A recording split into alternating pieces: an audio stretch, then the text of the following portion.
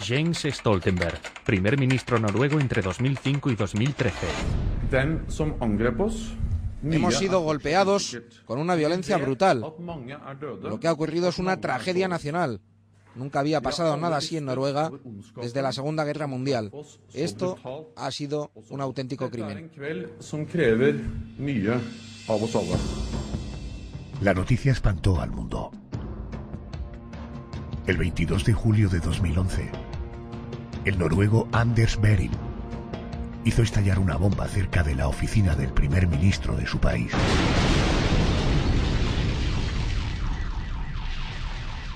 Pocas horas después, mataba a 77 jóvenes del Partido Laborista Noruego en un tiroteo en la cercana isla de Utoya.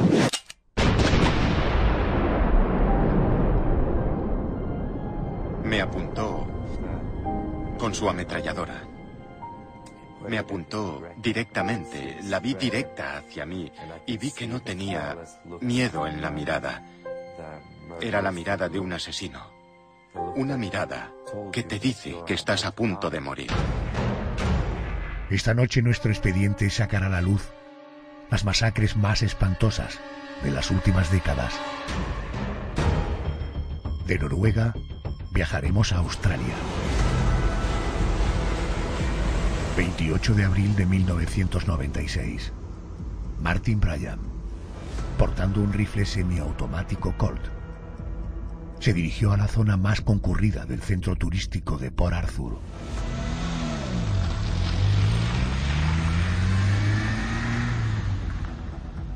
Una vez allí, entró en la cafetería Broad Arrow.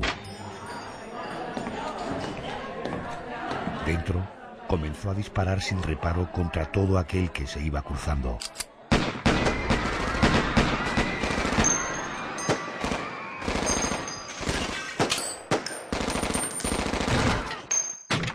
Así mató a 35 personas.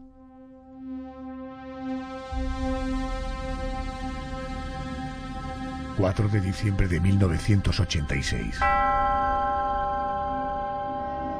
Cuando dieron las nueve de la noche, en el reloj del restaurante Pocheto en Bogotá, Elías Delgado entró un instante en el cuarto de baño y salió con un revólver en la mano. Pasando entre las mesas, amenazó a los comensales para que se tiraran al suelo. Boca abajo, fingiendo que se trataba de un atraco, para luego dispararles en la nuca.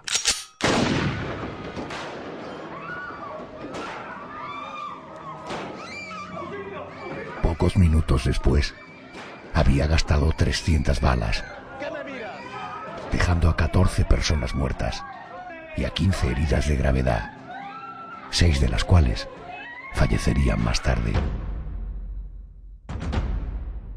A continuación apuntó con el arma a su cabeza y gritó, mi nombre es Legión. Y se pegó un tiro, muriendo al instante.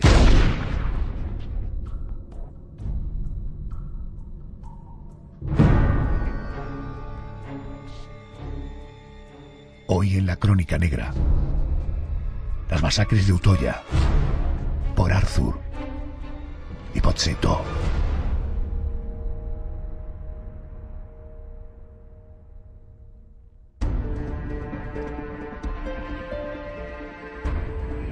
Esta noche nuestra crónica negra es especialmente trágica por el número de víctimas.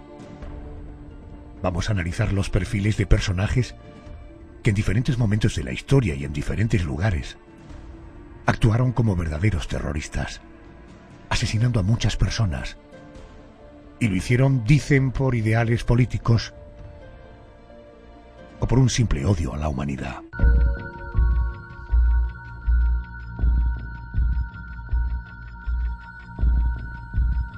Vamos a comenzar recordando la matanza de Utoya en Noruega. El protagonista de esta masacre, Anders Behring, un hombre con ideas políticas extremas, defensor del nazismo, y que aseguraba que solo con el terrorismo se pueden alcanzar metas políticas. Pocos días antes de la tragedia, Anders se marchó a una granja de su propiedad, al noroeste de Oslo. La soledad de aquel lugar, y ya con el material necesario, ideó su plan macabro. Los explosivos ya estaban a punto. Vamos a oír a Charles Sibrick, exmiembro de los cuerpos de inteligencia de la policía y del ejército. Para fabricar este artefacto, que llevaba más de una tonelada de explosivos, en primer lugar necesitas mucho material, por ejemplo, fertilizante, y los materiales adicionales, pero también necesitas instalaciones para mezclarlos en las cantidades adecuadas. José Manuel Frías, muy buenas noches. Buenas noches, Adolfo. La fecha clave es el 22 de julio. Cuéntanos cómo ocurrió todo. Pues empezó de una forma tan evidente que, que incluso asombra. Por la mañana, Anders publicó en YouTube un vídeo en el que aparecía portando un fusil, vestido con un traje de neopreno y con una frase grabada en el brazo que decía cazador de marxistas. Su mensaje estaba claro, atacar el Islam y atacar el marxismo. En su diario personal, poco antes de la matanza, escribió una frase bastante reveladora. Ponía en esa frase, este es el gran día que he estado esperando durante tanto tiempo. Incontables horas o incluso años de preparación quedan recompensados por esta oportunidad.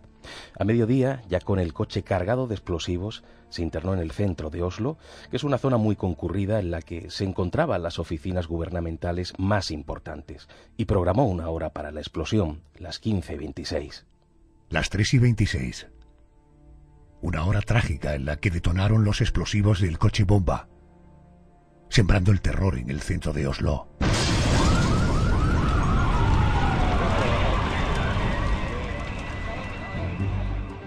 En la zona rápidamente imperó el caos. Varios edificios, algunos de ellos del gobierno, se vieron afectados por la onda expansiva. En diferentes zonas se produjeron varios incendios provocados por la explosión. La oficina del primer ministro resultó seriamente dañada. Inmediatamente la policía acordonó la zona y la evacuó ante el temor de que se produjeran más explosiones. La confusión general y los gritos de los heridos convirtieron aquel lugar en una especie de, de zona de guerra. Los daños personales fueron terribles. Hubo ocho muertos. Vamos a oír a uno de los testigos. Enseguida eh, salí a la calle para aquí, por lo que llegué dos horas después de haber explotado. La zona estaba acordonada, yo diría, unos 200 metros del, del punto donde había, bueno, ahora sabemos que una furgoneta. Y, y nada, la policía sin dejar pasar, había noruegos ahí y gente curiosa como yo mirando, haciendo algunas fotos, los escaparates rotos. Vi que más o menos en 200 o 300 metros, todos, bueno, todos no, muchos eh, escaparates estaban los cristales rotos y ya después ya empecé a ver furgonetas de, de operarios de, de, cristaleros, perdón, que estaban ya sustituyendo, ¿no? Y, y ya lo, lo entendí como, un, como que enseguida se estaban recuperando y pensando en volver a la normalidad y era un momento de, de confusión, no se sabía quién había sido el autor. Después de lo ocurrido yo llegué a casa porque mi pareja se, se había quedado en casa. Las informaciones decían, recomendamos que la gente se quede en casa y aquella noche nos quedamos en casa.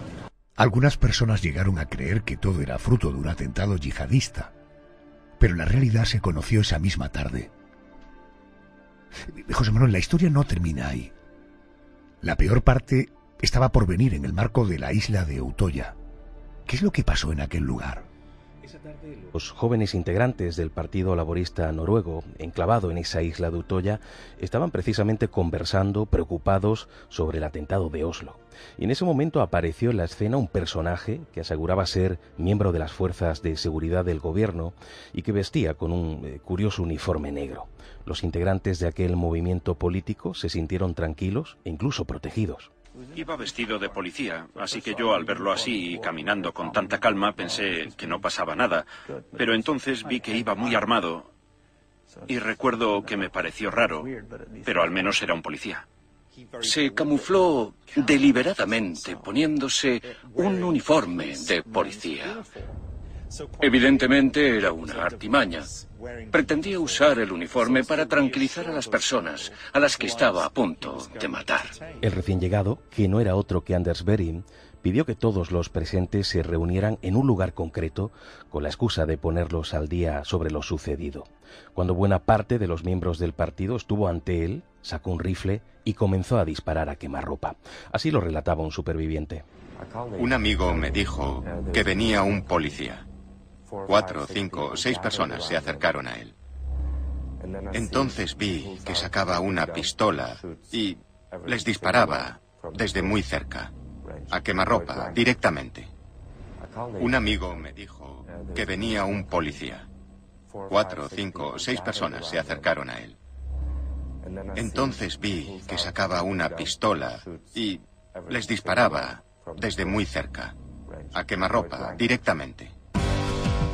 Me decías que eh, buena parte de los miembros del partido estuvo ante él. Debo entender que no estaba todo el grupo que había en la isla. Efectivamente, no todos. Eh, la raza primero con los miembros que sí tenía ante él. Eh, sus balas hay que decir que eran mortales porque al ser expansivas destrozaban a la persona contra la que impactaba. Pero después Anders se dirigió al centro de Utoya, disparando por el camino a todo aquel con el que se cruzaba. En la cafetería continuó la matanza. Vamos a escuchar más testimonios. A medida que el asesino se acercaba, la duda era cómo preferíamos morir. ¿Queríamos morir de un disparo o ahogarnos? Y entonces lo decidimos. Vale, mejor nos ahogamos. Dos horas después había matado a 77 personas y más de un centenar de personas resultaron heridas. La actuación policial fue complicada. Cuando llegó la primera patrulla, ya eran casi las 6 de la tarde, por falta de botes las autoridades policiales no pudieron desembarcar hasta media hora después y una vez en la isla lograron apresar al asesino, que además no se resistió en ningún momento. Así lo contaba uno de los policías que intervino en la operación. Llegamos a un claro y de repente encontramos al tirador con las manos sobre la cabeza. Lo detuvimos siguiendo el protocolo habitual. Sus armas estaban a unos 50 metros en el suelo.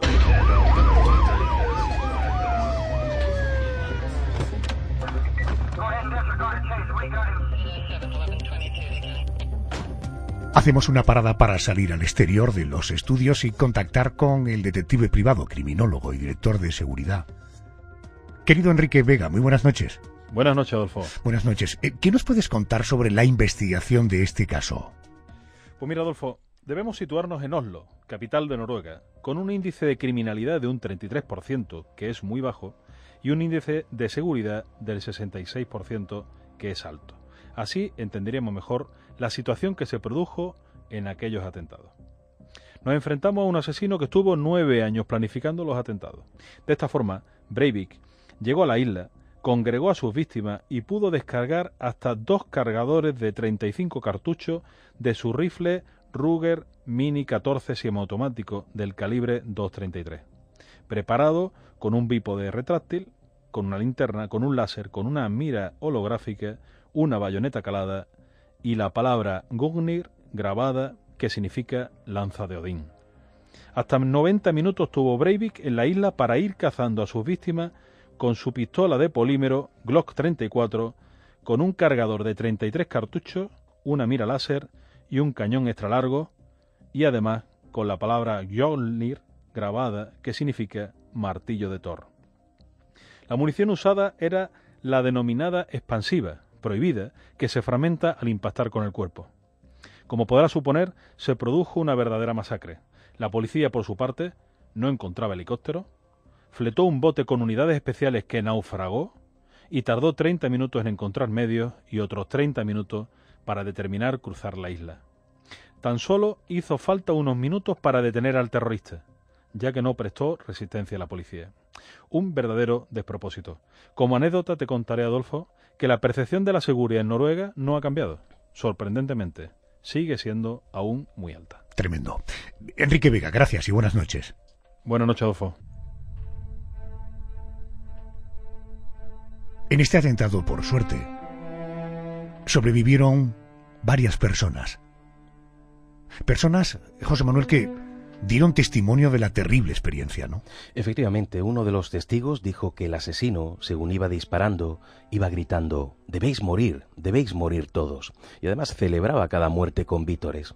El primer ministro noruego, Jens Stoltenberg, dijo que la isla de Utoya, que siempre había sido un paraíso, se había convertido por unas horas en un auténtico infierno. Él mismo había pasado tiempo en el campamento algunos años atrás de adolescente y lamentaba que la isla hubiera sido azotada de una manera tan brutal. Otro de los testigos, Adrián Pracón, narró lo siguiente. Me apuntó con su ametralladora. Me apuntó directamente, la vi directa hacia mí y vi que no tenía miedo en la mirada. Era la mirada de un asesino. Una mirada que te dice que estás a punto de morir. Así que grité con todas mis fuerzas y le supliqué que no me disparase. Por favor, no lo haga. Y no sé por qué él no lo hizo. Se dio la vuelta hacia las personas que estaban nadando. Les disparó unas cuantas balas y les gritó, hoy es el día en el que vais a morir, os mataré a todos. También encontramos otro testimonio, el de Bereide, que explicó lo siguiente. El asesino parecía muy concentrado, la gente estaba tirada por el suelo y él disparaba por la espalda. Disparó a todos dos veces para asegurarse de que morían. De entre todos los testimonios, eh, José Manuel, es destacable el de Frida Holm, esta mujer, por lo que tengo entendido, se salvó de milagro, ¿no? Sí, tuvo bastante suerte. El asesino llegó a dispararle en el muslo y la mujer, sangrando, se lanzó al agua y tiempo después fue rescatada por un bote cuando ya la situación se le estaba complicando debido a su asma que casi provoca que se ahogue. Desde aquella posición pudo ver la secuencia de la matanza, cómo Anders disparaba a quemarropa e incluso gritaba a los que huían con un absurdo «Parad, volved». Durante la declaración de Frida, la mujer pidió que el criminal no estuviera presente.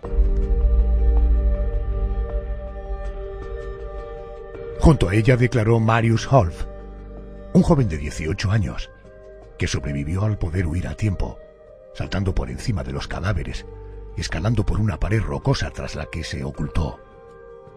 Tenía el hueco justo para permanecer escondido, y allí permaneció horas y horas hasta ser rescatado. También salieron con vida Christiane Utem, que cruzó nadando hasta la costa con un disparo en el antebrazo, y Lars Grongstad, que se ocultó tras una roca con un disparo en la espalda, que le perforó el pulmón y a punto estuvo de acabar con su vida. El resultado del juicio, hablemos de esto. ¿Cuál fue el resultado del juicio contra Anders Berim? El 24 de agosto, Anders fue condenado a 21 años de cárcel que serían ampliados si se demostraba más adelante que seguía siendo un peligro para la humanidad. Como es lógico, el criminal sonrió abiertamente. Eh, digamos que la justicia había sido demasiado blanda. 77 muertos, 21 años de cárcel. Bueno, sacando cálculos así a ojo, no llega a cuatro meses de cárcel por cada víctima mortal. Hablando de juicios, queremos recurrir a nuestro magistrado de cabecera. Querido juez Bernardo Pinazo, muy buenas noches. ¿Qué tal? Muy buenas noches, Adolfo. Hoy hemos arrancado, estamos hablando de esta masacre, vamos a narrar otros expedientes. Oiga, cuando se cometen asesinatos multitudinarios, como es el caso, ahí quería yo llegar. A nivel judicial, eh, eh, estamos condenados a que esas condenas eh, de más de mil años finalmente no se cumplan. Eh, pues mira, mm, eh, estricta y rajatablemente y rajatabla te digo que no, no se no se cumple porque tiene porque tiene un, límite.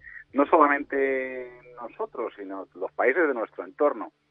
Eh, tal caso, el Código Penal nuestro nos dice que el máximo cumplimiento efectivo de, de una condena de culpable no podrá exceder del triple del tiempo por el que se imponga a la más grave de las penas en que se haya incurrido. ¿Qué significa esto? Pues que excepcionalmente ¿eh? tiene un límite y además ese límite es máximo, esto no es mínimo, máximo. Y que la ley se encarga de decirnos que es de 25 años cuando la persona, el sujeto, haya sido condenado por dos o más delitos y alguno de ellos esté castigado por la ley con pena de prisión de hasta 20 años.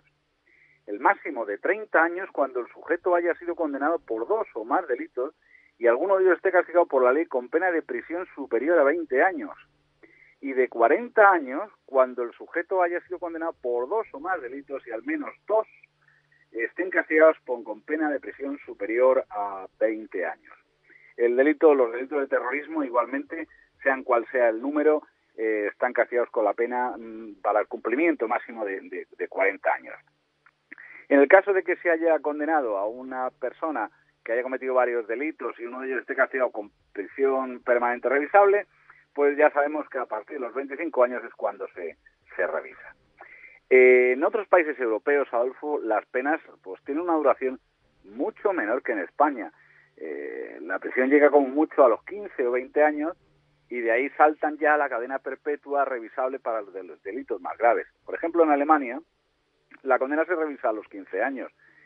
Eh, a partir de ahí, pues el preso puede pedir la libertad condicional y la media de cumplimiento es de 21. En Francia se revisa a los 18 o a los 22 si se trata de un reincidente.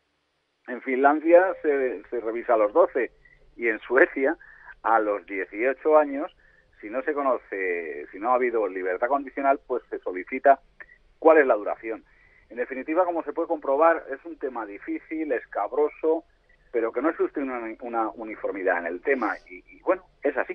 Eh, eh, juez, acláreme una cosa. ¿La prisión permanente revisable, cumplidos los primeros 25 años y a partir de ese momento se puede hacer una revisión? La revisión puede dar como resultado que el preso continúe en la cárcel, ¿no? Por supuesto. Es a partir de los 25 años y una vez que se cumplan una serie de requisitos, exámenes psicológicos, eh, también es un examen de carácter social, de reinserción y que luego tiene su tramitación judicial. Pero que eso no significa que a partir de los 25 años te obliguen a, echarte ya a la, a la, libertad condicional. No, no, no, en absoluto. Es a partir de los 25 años que puede ser como mucho, como mucho, hasta los 40, que es el máximo. Señoría, gracias y buenas noches. Adolfo, un abrazo fuerte a todos. Hoy este verdugo, este asesino, Anders Berim, permanece en un centro de máxima seguridad al oeste de Oslo. Allí, en la soledad de su celda, el asesino dedica largas horas a escribir un libro que llevará por título Los diarios de Berim, en el que relatará su vida y la historia de sus atentados.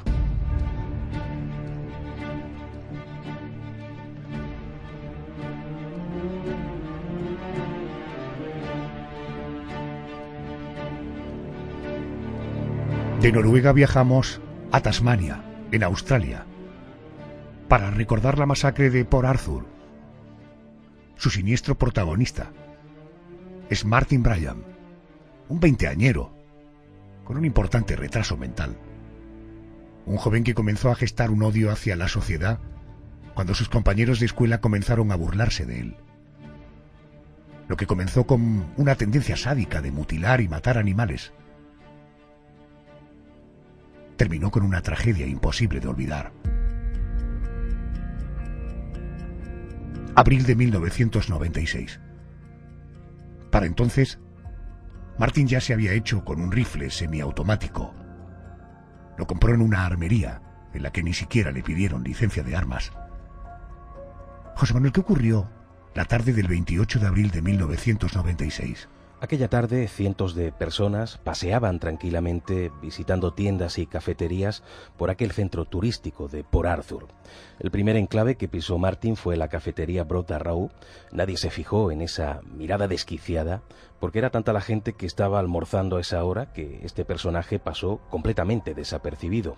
Además supo disimular eh, bastante bien pidiendo algo de comer, sentándose a degustar el almuerzo tranquilamente, eso sí, mientras observaba atentamente a su alrededor. Llegado el momento, y con una asombrosa sangre fría, colocó sobre una mesa una cámara de vídeo para grabar lo que iba a hacer y sacó el rifle de la mochila. Un segundo después, abrió fuego de manera indiscriminada, siendo protagonista de una de las peores matanzas de un asesino múltiple en los últimos años.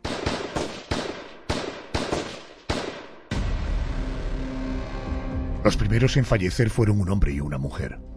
Un matrimonio asiático contra el que disparó las balas impactaron en sus cabezas. Los disparos se sucedieron sin un objetivo fijo, dejando 20 muertos y otros tantos heridos, algunos de gravedad.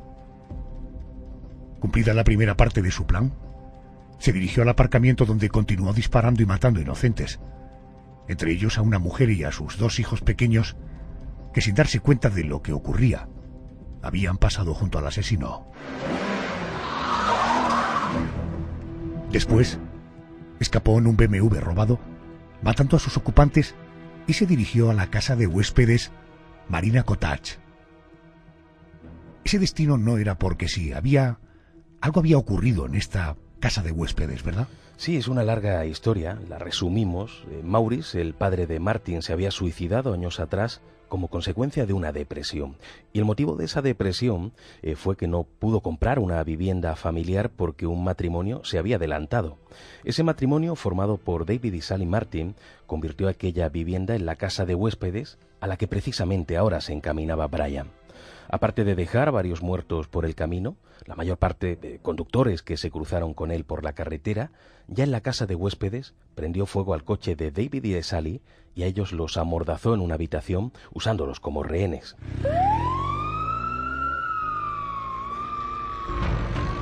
Como es lógico tras la masacre de Port Arthur, la policía había seguido los pasos de Brian y se encontraba ya en el perímetro de la casa de huéspedes.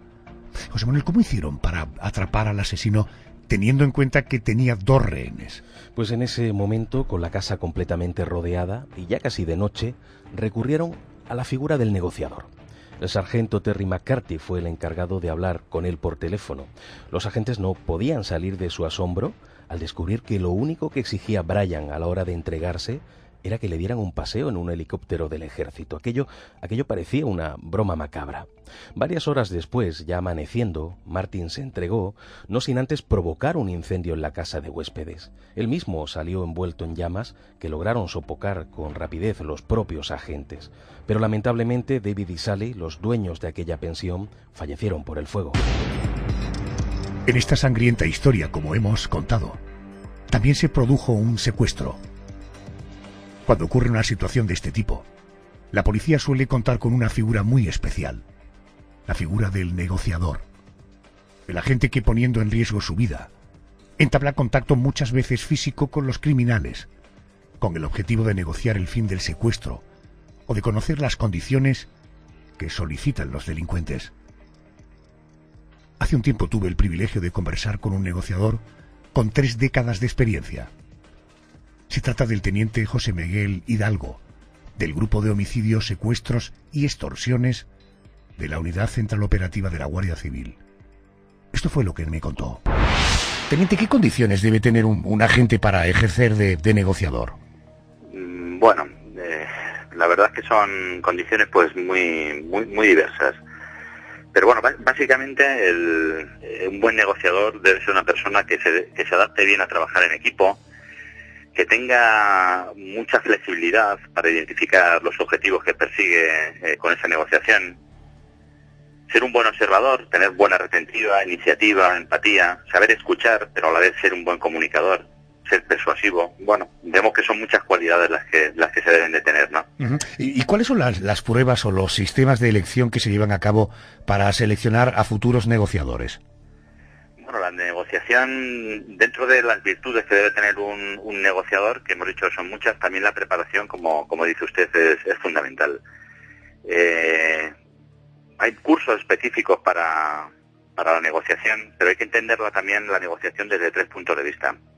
No es igual negociar con rehenes, que sería la negociación que estamos acostumbrados a ver en las películas, que asesorar en un secuestro, que es una labor eh, policial, o a trabajar como una especie de mediador entre dos partes. Habría que diferenciarlo, habría que ver si estamos integrados dentro de una unidad táctica, de una unidad de inteligencia, de una unidad de investigación, con lo cual, bueno, pues los cursos específicos son muy variados. Normalmente en Guardia Civil, que lleva una política específica para, para la formación a nivel eh, tanto central como periférico, de las unidades periféricas de Guardia Civil en todo el territorio nacional, habría que partir de las unidades de policía judicial y a partir de ahí pues cursos ya específicos de lo que serían negociadores propiamente dichos. Teniente, sí, perdón, y luego ahí me decía, disculpe. Sí, luego hay cursos, eh, lógicamente, de, de comunicación, de persuasión, de sinergología, de grafología, de psicología, eh, de saber hablar y comunicar por teléfono eh, a un tercero. Bueno, pues todos esos cursos que los podemos eh, encontrar en, en la calle, pues, bueno, pues para otros tipos de, usos eh, a nivel civil que nosotros también los utilizamos, ¿no? Pues para saber eh, relacionarnos con otras personas, que es de lo que se trata. ¿Es, es- habitual eh, usar a un negociador en secuestros y robos con rehenes? ¿Es siempre parte del operativo? Eh, sí, pero cuando hablamos de negociador en este tipo de situaciones eh, también hay que aclararlo porque es una, bueno, pues yo creo que una de las cosas que el público en general desconoce, que nosotros nunca hablamos del negociador, sino del equipo de negociación. El negociador individual es muy difícil eh, y prácticamente hoy en día en la mayoría de los países, España particularmente, habla siempre de equipos de, negociación porque es eso, como es, y es el sistema con el que se trabaja. Habrá un negociador mm, primario, secundario, eh, gente que apoya la negociación, mejor un psicólogo o determinados otros elementos dentro de ese equipo, pero siempre vamos a hablar de un equipo de negociación, no de un negociador individual, el negociador típico de las películas eh, americana o no, eh, que bueno, que se juega la vida de una manera a lo mejor eh, desde el punto de vista de, de la seguridad propia y de la seguridad incluso de, de los rehenes, ¿no? De eso le quiero, le quiero hablar a, a continuación. Eh, yo estoy hablando con usted ahora por teléfono, oigo su voz. Supongo que secuestradores o ladrones han vivido la experiencia que yo estoy viviendo, ¿no? Escucharle por teléfono. Sí, sí, es un, bueno, pues uno de los medios eh, que se utilizan eh, para contactar con, con estas personas. Pero también es cierto que el cara a cara también, también se utiliza en cuanto a la negociación directa en toma de rehenes. Y de hecho es, es favorable también el mm, parte de la comunicación, la, esa comunicación no verbal eh, para nosotros es muy importante a la hora de enfrentarnos a, personas pues que están siempre hablando de, casos normales, porque también podem- podemos enfrentarnos a personas que tengan pues algún tipo de enajenación, ¿no? Pero hablando de personas normales que puedan sufrir algún tipo de, eh, bueno, estar dentro de una situación en la que por diferentes motivos eh, se vean envueltos en, en eso, que han optado por, o bien por eh, retener a alguna persona, o bien ellos mismos amenazar con causarse algún daño, pues ese cara a cara sí nos va a servir y nos va a dar mucha información también para comunicar con él y bueno, hacerle desistir de, de males mayores. Tiene usted cara de buena persona, de tipo fiable. Bueno, también es una de las cualidades de la experiencia. La experiencia es bastante importante, tener una determinada edad a la hora de comunicar, y más si es una comunicación eh, personal, cara a cara. Eh, no es que sea fundamental, pero sí que hay que tener, aparte de, de todas esas cualidades individuales, de esa preparación, también una cierta experiencia y aprender también de los veteranos. Eh, eso nos ha pasado a todos. Nosotros no empezamos a comunicarnos, eh, a negociar, a asesorar, desde el primer día, por mucha preparación, por muchas cualidades que tengamos, eh, la experiencia aquí es muy, muy, pero que muy importante. El basarnos en, en los errores de nuestros compañeros que han pasado por estas mismas situaciones, situaciones de mucha tensión y mucho estrés.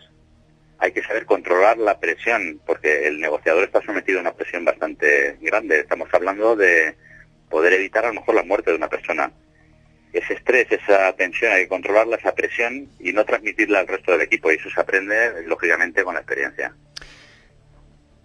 La edad y los años en cuántas cosas nos limitan, pero cuántas puertas y ventanas nos abren, ¿eh? La experiencia, ¿verdad?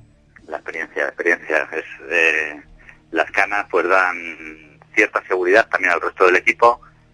El saber que las cosas se hacen bien, aunque bueno, también desgraciadamente hay veces que por causas ajenas al, al negociador eh, no terminan como todos eh, quisiéramos, pero sí que es verdad que en muchos casos en España, sobre todo en Europa, en, en el ámbito en el que nosotros nos movemos habitualmente, eh, pues se resuelven de una forma satisfactoria este tipo de incidentes. Teniente, ¿es cierto que hay una norma no escrita en la que el delincuente debe respetar, respeta de hecho al negociador? Eh, mm, yo no sé si es una norma o no, pero lo cierto es que cuando saben que estamos presentes, eh, hay unas reglas no, no escritas, como bien dice usted, ¿no? que sí que es cierto que hay veces que, que bueno, que se tienen, se tienen en cuenta. El, eh, saben que normalmente nosotros no mentimos nunca, eh, que no hacemos, bueno, pues no, no les vamos a dar soluciones, las soluciones las tiene que aportar el propio delincuente, ¿no? La persona que, que ha generado ese, ese incidente, pero también es cierto que saben que nosotros normalmente vamos a buscar una salida o les vamos a ayudar a buscar esa salida y eso sí se respeta.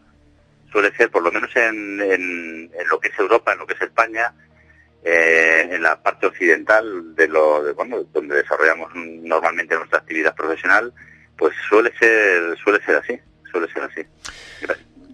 Por suerte, por suerte, porque luego también trabajamos en el extranjero, en otros países, sobre todo en el ámbito sudamericano, que esas reglas también, el conocer esas culturas, esa gente, esa delincuencia particular, también eh, esto no se adapta totalmente a, a- esas normas.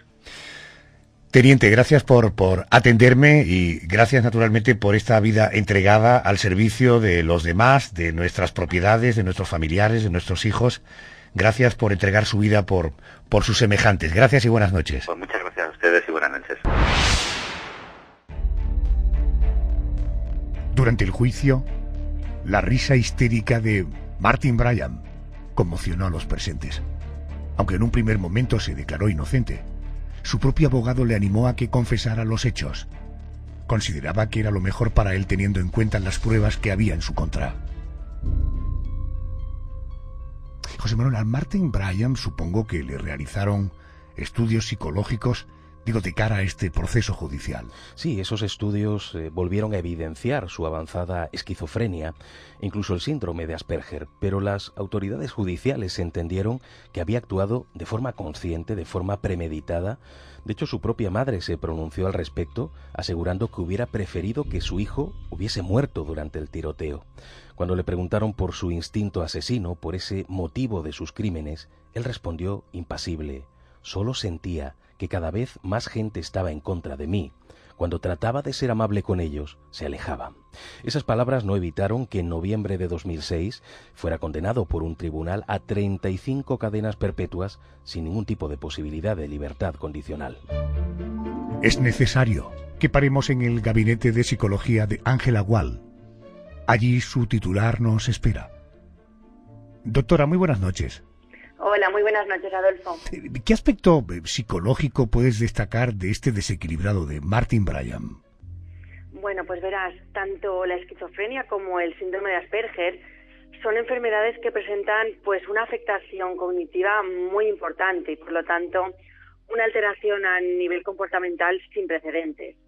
Es decir, la manera en la que este chico percibía la realidad es posible que distara mucho de la percepción, digamos, habitual general.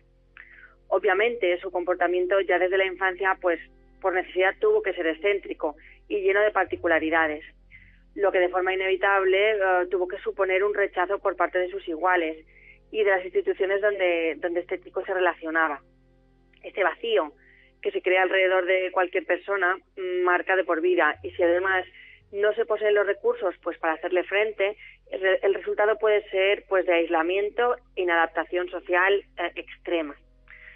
Tenemos que tener muy en cuenta que el cociente intelectual de Martin era de 66. Estamos hablando ya no de un perfil borderline de alguien que pueda tener una capacidad cognitiva para que nos entendamos justita, sino de un retraso mental muy acentuado, es decir, una falta de desarrollo que podría pues mantener al chico en una edad mental no superior a la de un niño bastante pequeño. Es por ello que a todos los niveles y muy especialmente a nivel madurativo y emocional, el sentirse rechazado y ridiculizado de forma regular, pues pudieron hacer mella en la concepción que tenía mm, de las personas y del mundo y en la orientación de qué quería hacer él en este mundo. Entonces, bien, teniendo en cuenta que padecía esquizofrenia, cualquier cosa podía pasarle por la cabeza, eso es algo que hay que, hay que matizar.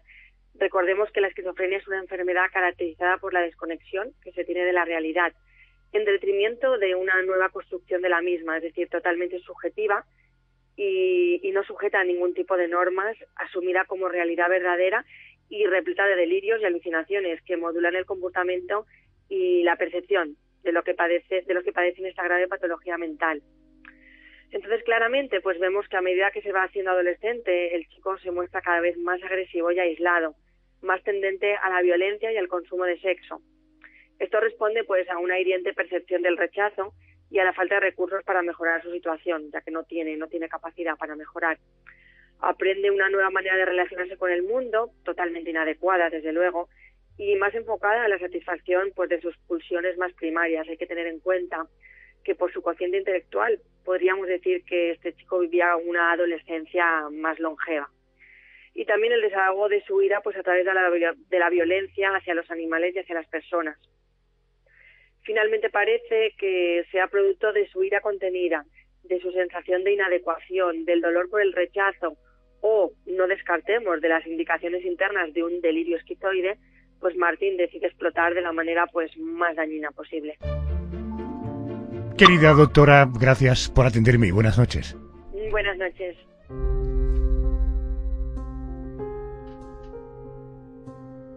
Ya en prisión, Martin Bryan intentó suicidarse en varias ocasiones con cuchillas de afeitar. La primera vez cortándose las muñecas, la segunda hiriéndose la garganta. Aquellos dos intentos de suicidio le valieron el pasaporte definitivo a un centro de salud mental dentro de la propia penitenciaría de Riston, en Hobart. Allí continúa en la actualidad. El protagonista de nuestro último expediente es Elías Delgado, un extraño personaje nacido en Colombia, que llegó a ser boina verde y miembro de las Fuerzas Especiales del Ejército de los Estados Unidos. Pero al regresar de sus misiones, se convirtió en un tipo extraño, en un tipo reservado, antisocial. El 3 de diciembre de 1986, entró en una armería y compró 500 balas para su revólver del calibre 32. Había decidido vengarse de la sociedad por sus problemas emocionales. Esa noche, al regresar a casa, después de una discusión con su madre, asesinó a la anciana de varias puñaladas, después de haberle asestado puñetazos por todo el cuerpo. José Manuel, ¿qué ocurrió el 4 de diciembre? Aquella fue una jornada espantosa. Esa mañana salió dejando el cadáver de su madre en la casa y acudió a la vivienda de su alumna Claudia. La joven que estaba en su habitación no se dio cuenta de que había entrado en el domicilio y que Elías además ató y amordazó a su madre, a Nora Becerra. Intentó abusar de ella y luego la asesinó a puñaladas. Luego fue a la habitación de la joven Claudia. ¿Y Claudia no se había dado cuenta de nada? No, de nada. Tanto es así que cuando Elías entró en su cuarto, donde ella estaba estudiando en aquel momento, se sentó a hablar con la chica sobre el doctor Jekyll y Mr. Hyde pero a los pocos minutos se lanzó sobre la muchacha, la amarró, la amordazó y estando Claudia inmovilizada, se puso sobre ella, la besó y le asestó 22 puñaladas. Luego se marchó de la casa llevándose el ejemplar del doctor Jekyll que él mismo le había regalado a su alumna un tiempo atrás. Edwin Olaya, perfilador criminal. Campo Elías Delgado llegó en su rol de profesor de inglés a visitar a una de sus estudiantes. Se encontraba solo con su madre. Sin embargo, en algún momento las cosas se salen de control y estalla la violencia. Las amarra, deja a la madre en la sala y al adolescente la lleva a la habitación y a ambas las apuñala más de una decena de veces. Las abandona desangrándose, cierra el apartamento, sale como si nada y se va a la que era su zona de confort, el sector de, Chapinero. La masacre de Elías Delgado, que se había cobrado hasta entonces tres víctimas, José Manuel no acabó ahí. Lamentablemente no. Elías, eso de las 4 de la tarde, acudió a su vivienda y prendió fuego al cadáver de su madre. Con la excusa de aquel incendio, llamó a dos vecinas que vivían en el departamento 301, hablamos de Inés Gordi y de Patricia Cortés, y ella les pidió que le dejaran entrar en casa para llamar a los bomberos, pero lo que hizo fue matarlas de un disparo en la cabeza. Luego hizo lo mismo en el departamento 302 de Isabel Agudelo, una vecina, por cierto, con la que se llevaba mal y que también murió de un tiro. Elías Delgado siguió con su masacre en el edificio, en este caso acudiendo a la vivienda 101, donde vivían cuatro estudiantes. De nuevo entró con la excusa de llamar a los bomberos y terminó disparando a dos jóvenes en la cabeza, Rocío González y Mercedes Gamboa, que murieron al instante. El compañero de piso quedó gravemente herido, aunque no fallecería hasta más tarde, mientras era atendido en el hospital. Y otra estudiante, Berta Gómez, Ella se salvó porque logró escapar saltando el patio interior al escuchar los disparos. Acabada la espantosa escena, Elías Delgado salió del edificio. Mercedes Flores, vecina de Elías. La muchacha que trabajaba en el sótano me llamó, se subió en una escalera y me llamó y me dijo, Mercedes, Mercedes, mire que Campo Elías mató a las niñas. Entonces fui a ver qué, no, sí, estaban las dos niñas, estaban muertas, una aquí en la entrada y otra en la sala. Ahí mató tres, abajo mató tres, mató a la mamá, en el 301 mató a dos señoras, en el 302 mató a una y bajó al sótano y mató tres. Y salió incendiando el apartamento porque le metió candela al apartamento de él. En ese momento Elías acude a la vivienda 201 de un edificio cercano pero curiosamente no asesina a sus inquilinos. Efectivamente, allí vivía el matrimonio formado por Jesús Fernández y Clemencia de Castro, que tenían un hijo llamado Andrés. Se podría decir que aunque Elías no tenía amigos, ellos eran lo que más se parecía. Clemencia, que estaba en ese momento sola con su hijo, se dio cuenta de que Elías iba armado porque se notaba el bulto del revólver debajo de la chaqueta, y además que estaba muy nervioso porque no era capaz de estar sentado, y repetía varias veces las mismas cosas. Luego de tomarse un refresco, el asesino le dijo que iba a hacer un largo viaje y que solo tenía pensado despedirse de ellos y que le mandara recuerdos a su esposo. A las siete de la tarde se marchó, asegurando que recibirían noticias suyas en breve. A las 7 de la tarde se marchó y se fue a su restaurante favorito Pocheto. Un establecimiento de comida italiana. Así es, un restaurante ubicado en el sector de Chapinero, en la séptima con la 61, y él llega a las siete y cuarto, se sienta en su mesa habitual, pidió un plato de espaguetis y una botella de vino, y cuando acabó de cenar pidió varias copas, aunque la última se la tomó en la barra. Sobre las nueve pidió la cuenta y se fue al baño. Llevaba en el bolsillo el libro del doctor Jekyll y en la otra mano el revólver. En ese momento estaban cenando en el establecimiento unas 40 personas. ¿Y qué pasó? Pues Elías empezó a acercarse a las mesas y a gritar a los clientes para que se pusieran en el suelo, boca abajo, diciendo que aquello era un atraco, momento en el que les disparaba en la nuca. Y tenía buena puntería, no olvidemos que había sido un boina verde. En pocos minutos había disparado unas 300 balas y había matado a 14 personas, dejando heridas de gravedad otras 15, de las cuales 6 fallecerían más tarde. Tras el tiroteo, Elías gritó, Mi nombre es Legión. Después apuntó el arma contra su cabeza y disparó. Así lo narraba uno de los testigos del suceso. Yo vi todo. El loco pedía que le dieran dinero en efectivo y que dejáramos los billetes sobre las mesas, al tiempo que daba vueltas por el salón disparando y matando. De pronto se paró junto a mí, me miró y pensé que me iba a matar. Pero no lo hizo. No sé por qué no me mató, porque a mi hermana ya la había asesinado. Yo miraba cómo mataba a la gente y no podía hacer nada. Hasta que llegó la policía y rompió un vidrio. Entonces vi como el loco se disparó y cayó al suelo. A pesar del aparente suicidio, las pruebas forenses revelaron que Elías había recibido dos disparos en el pecho y cuatro en la cabeza, por lo que se supone que antes de apretar el gatillo fue alcanzado por las balas de la policía.